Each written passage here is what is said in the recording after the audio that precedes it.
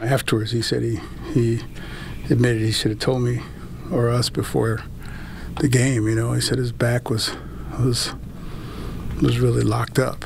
You know, we didn't know it. So uh, I don't know. He's he's frustrated. and We're frustrated. you know, because we can't we can't keep him healthy at 100 percent right now, and, uh, and we don't know why.